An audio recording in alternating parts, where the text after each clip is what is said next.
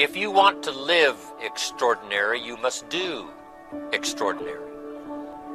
But you must demand it. If you wish it, you must demand it of yourself.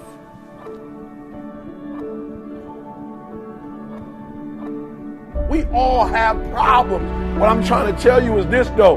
Don't be consumed with them. Problems are a part of life, but guess what? They're not life. Inside of every single problem that might be causing you to worry and creating stress for you is a gorgeous opportunity to build an even better business or build an even better life or install a better belief.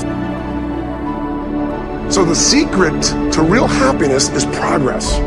Progress equals happiness. And if we can make progress on a regular basis, we feel alive. So if you want to make real progress, then you really got to look at your life in a different way. You got to say, I got to take control of this process and not just hope it's going to work out. You got to keep picking yourself up and reaching for it. You can get through this. You will get through this. You must get through it. You are going to get through this.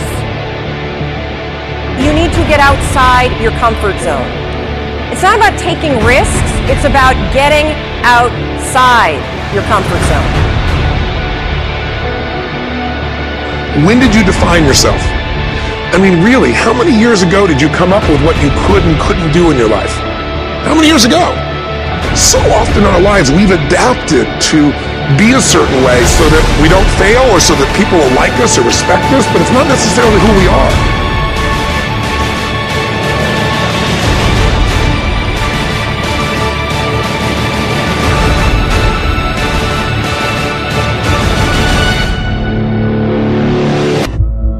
Doesn't matter how you get knocked down in life, because that's going to happen.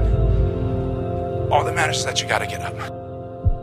Can't turn back the clock, right? The only thing you can do is learn from it, and hopefully you'll never make the mistake again.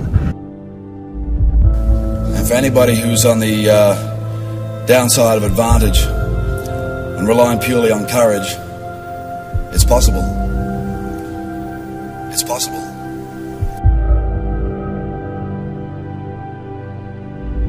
Think of the three biggest discouragers in your life.